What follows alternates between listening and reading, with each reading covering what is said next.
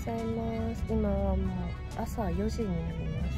今からインチョン空港に向かって帰ります。今日は打ち合わせと生放送があるので朝7時半出発の飛行機に乗りたいなと思います。朝が早いのがとっても苦手で何も考えられません。空港で何か食べれたらな昨日ちょっと夜ご飯あんまり食べれなくてお腹空いちゃってるので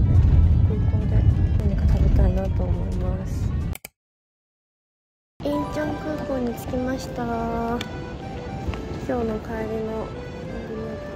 気持ちいいボーダーのセットアップです。タクシーのおっちゃんがちょっと寝てまして生きて帰れないかもって思ったんですけど無事到着しました。よかった。うとうとしてたからまあさすがにこの時間だし眠くなるのはわかるんですよ。タクシーの中も無音だったし。でも怖かったんで TikTok 開いてなんか音を私が出すってあと寒いのに窓開けて冷風でちょっと目を覚ませつつ TikTok の音源で目を覚ませるっていう。この時間なんで本当だったらカンナムからインチョンだと1時間半は見た方がいいんですけど40分で着いたので40分間私はずっと緊張状態にいました。緊張が解けて一気に眠気が出てきました。飛行機の中で。寝たいと思いますすっぴーボサボサで気持ちいいニットも着て寝る気満々。しかも耳シャトンのバキハンもあるのでこれで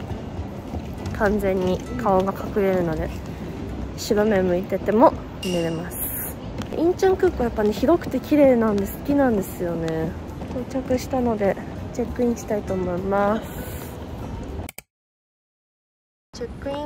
ターで日本語でしか案内されて席も指定できました。すごい。嬉しい。無事入国審査完了しました。5時なのですごいね空いてて。全然時間かからなかったです。ただねご飯屋さんが全然やってないっていう長すぎましたフードコート全くやってない時間がまだね1時間半くらいあるので歩いて探したいと思います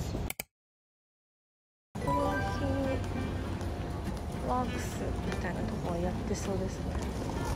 ちょっと本当にお腹が空いて倒れそうなのでここで何か食べ物を買いたいと思います。パンみたい。なのがサラダっぽい。ですサンドイッチっぽい。あれ、ねぎなし。クロワッサンとオレンジジュースにしました。ちょっとね韓国っぽいものすることなら最後食べたかったんですけど。仕方ないということでゲートの方に向かいたいと思います。だいぶね時間あるんですけどね。